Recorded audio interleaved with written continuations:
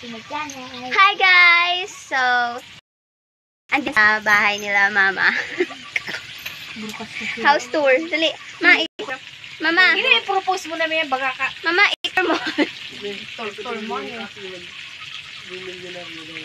yung ani. Milyonaryo bag ako kakablog. So, dito po yung kusina na. Ayan. So, as you can see, very innovative mama ko. Ito ang aming living room. Ay. room. Yan. Nap na. And, ito, bedroom.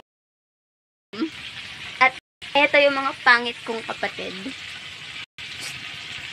Pero baliktad. Ang pangit. Then, ko pag layton ka, ako ang bisita di Dio, kaya.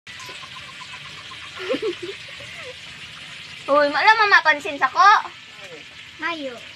Mayo! That's for today. Bye, guys! Yun lang to. Nag-video ka pa.